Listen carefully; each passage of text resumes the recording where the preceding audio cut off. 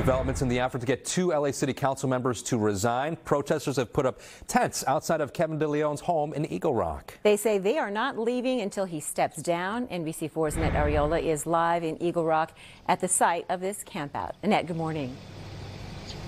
Hey there, good morning to you, Lynette, Adrian. Hello, everybody. And a lot of those protesters are starting to wake up right now. You see those tents, tables, they have some coffee out here, a lot of lawn chairs.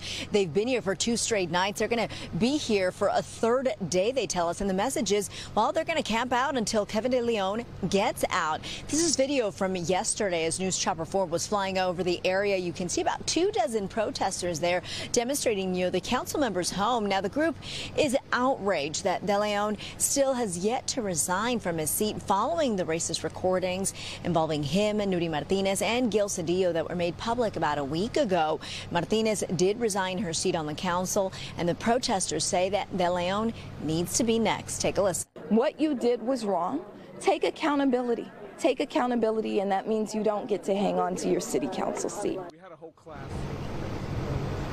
Now, we have yet to hear from De Leon or what his plan may be, what his next steps may be. Now, there are constituents that do support Councilmember De Leon. Some of those counter protesters showing up yesterday at one point arguing that he should not have had, had to resign. He should not have to resign from his seat. Now, everything did remain peaceful. However, neighbors have pointed out that one of the things that they are bothered by all of this is the fact that, that uh, protesters are handing up, hanging up signs that have some profanity in them.